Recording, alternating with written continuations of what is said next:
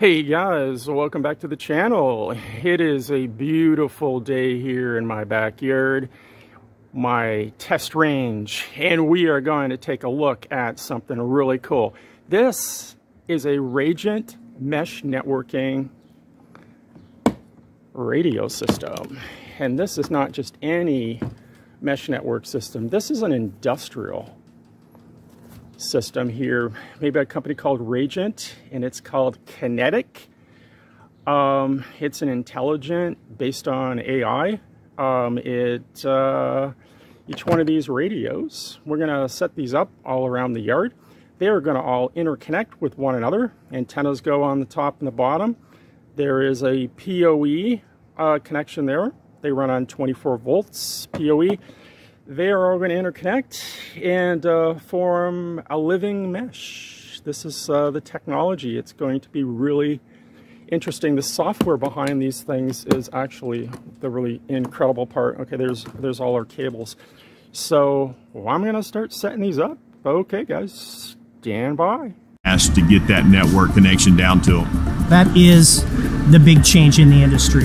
And it's the blending or the fusion of these technologies that allow them to do some things that they haven't been able to accomplish before in the field. Okay guys, I got them all together. Antennas are mounted on the top and on the bottom. And what we have here, this is the PoE cable. It is a watertight ethernet jack and that goes right in there. Now, on the other end, you have your PoE inserter. The LAN is where you put your bandwidth in, and the PoE is what goes out over to the radio. Now, this is 24 volt PoE, and uh, the radios, of course, need power, but that's all they need. If they're a node, like a relay node or um, somewhere in the mesh, only one radio needs to actually be used to input bandwidth from a bandwidth source, an internet source. And then the mesh, once it's got that bandwidth in the mesh, it will distribute it across all the nodes. They actually call these radios breadcrumbs because it's like a trail. Uh, that's what Rajant calls these. Uh, that's why I think they're white because they're breadcrumbs. Anyways, I'm going to take a couple inside and we're going to start uh, a mini mesh with just two radios and uh, we'll see how things go. Okay. Okay guys, I brought a couple of the Rajant breadcrumbs in the house here and I have them set up here on the floor. I got the antennas on them and each one is wired with its individual cable. Back to these power inserters. And yes, those are Ubiquiti power inserters, which is just a standard 24 volt uh, PoE. Um, one of them, as you see, is got uh, is plugged into the PoE. Um, this one here, we're giving it PoE, and this is house internet. And uh, you'll see why.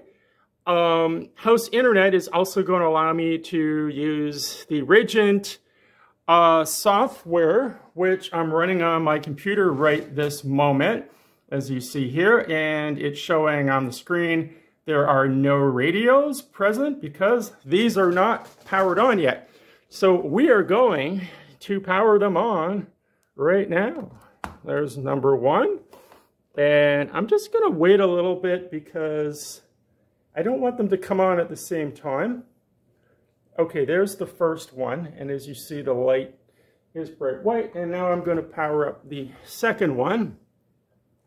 So you get a better idea of the, uh, the power-up sequence.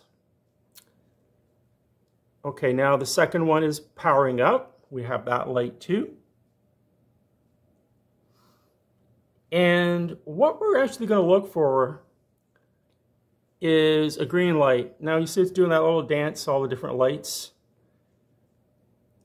It's going to go blue, which it's doing right now. And when it sees another one that it can mesh with, which has the same key, obviously, um, they will turn green. And over here, no, we're not seeing anything yet.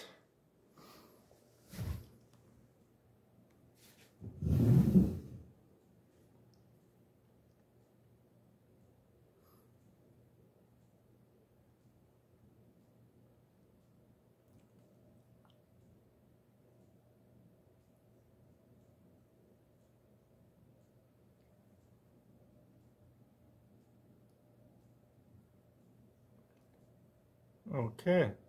Now it's doing a little dance.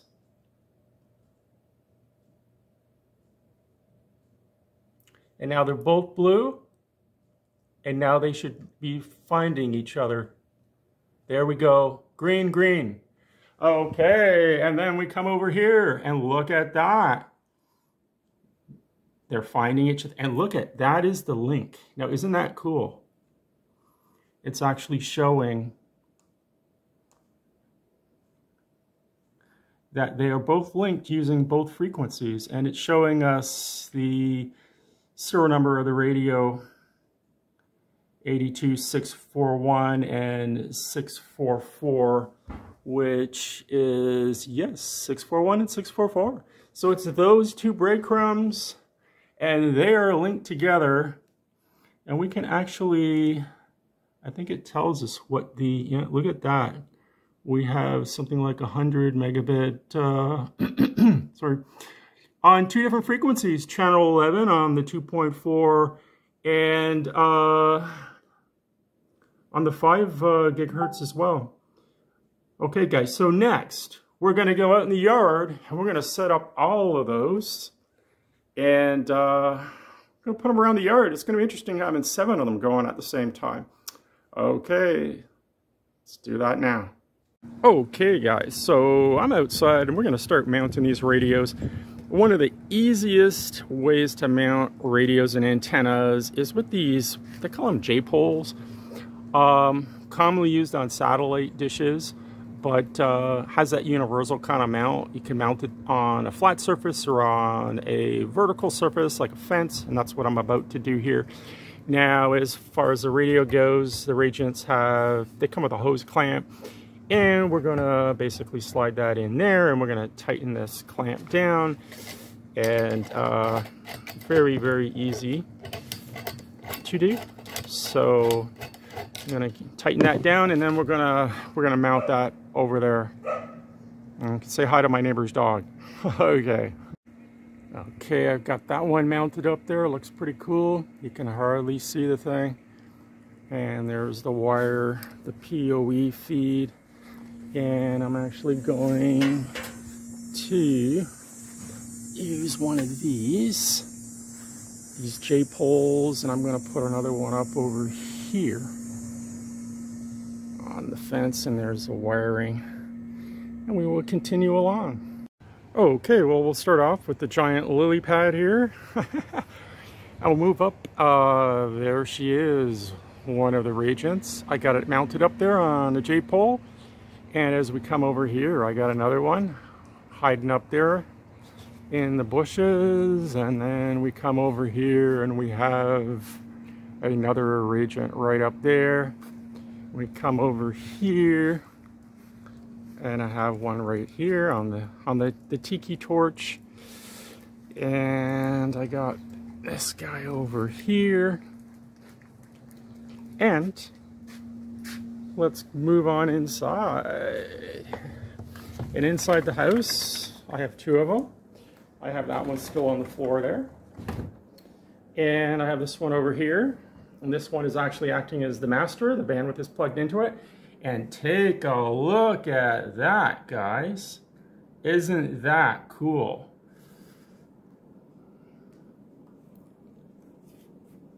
They're all interconnecting with each other. And let me, if I click on one of them, it shows its pathways, its connections. And as you see, it's connected to every single one. We go to that one, in the center. Really cool, guys. Doesn't get any cooler than that. And uh, yeah, we're going to dive into this. It's uh, a really cool system. They call it a living mesh or kinetic. Um, it adapts uh, instantly and automatically to the situation.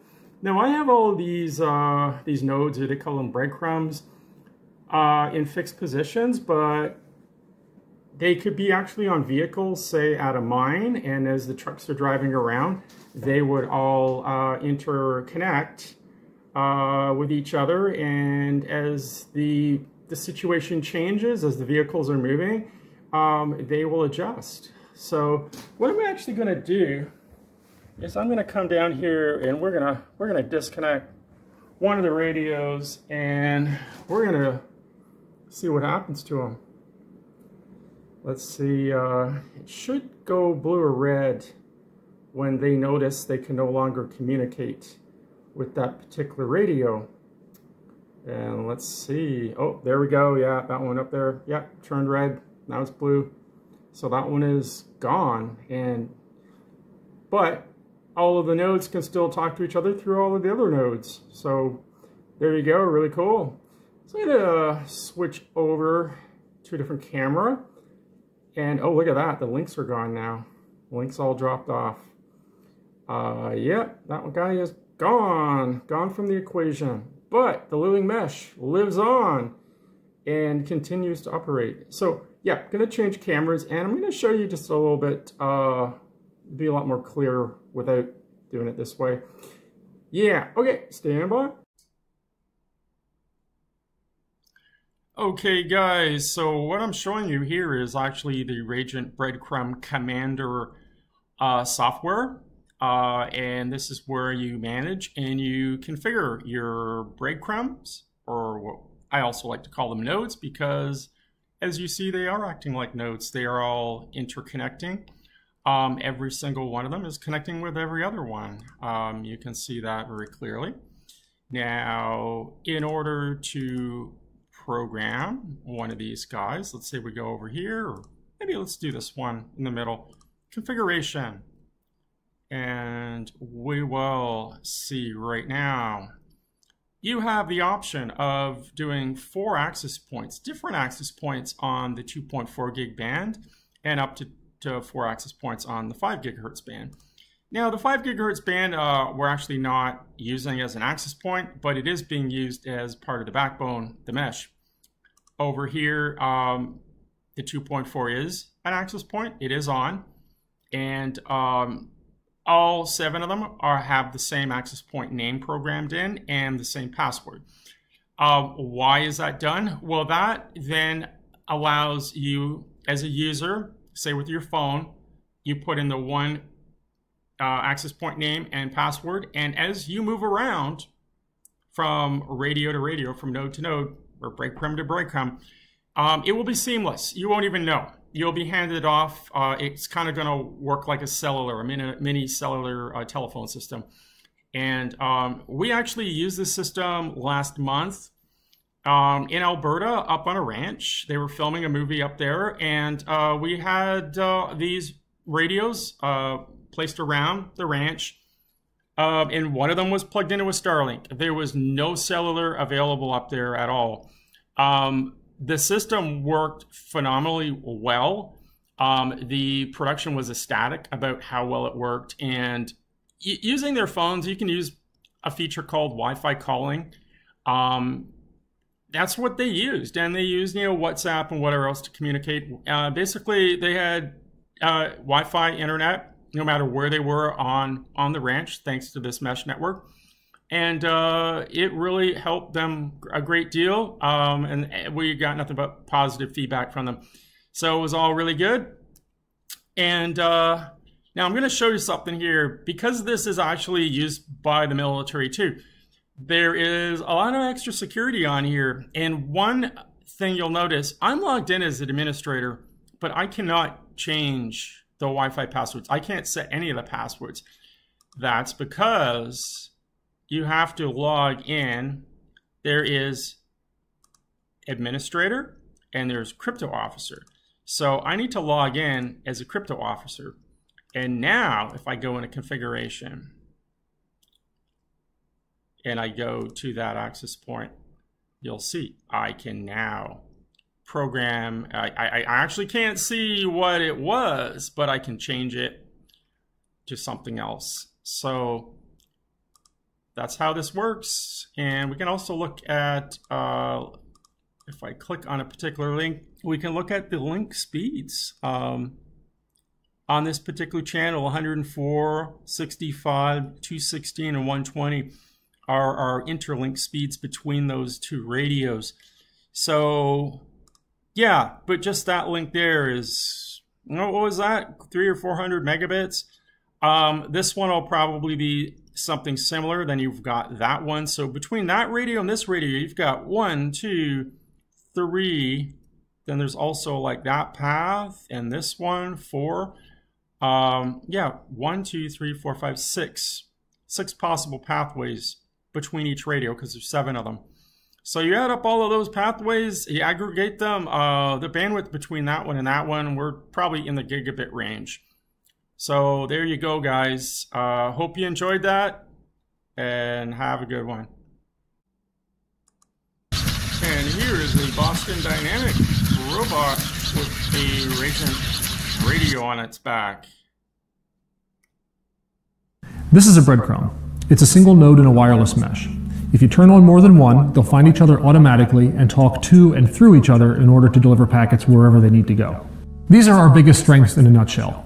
Rajant Breadcrumbs provide secure, reliable, high performance wireless networks in which everything can move. Now, each one of these descriptions secure, reliable, high performance, 100% mobile is individually difficult to achieve, and if you've ever tried to build such a network, then you've seen that for yourself. Achieving all of them at the same time is an extremely hard problem, and that's what makes it interesting and fun for Rajant. We call this type of network a kinetic mesh network.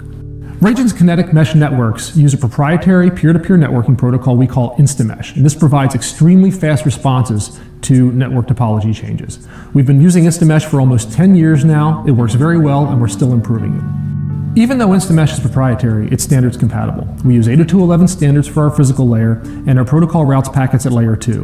Basically, if your data can be sent over Ethernet, it can be sent over mesh.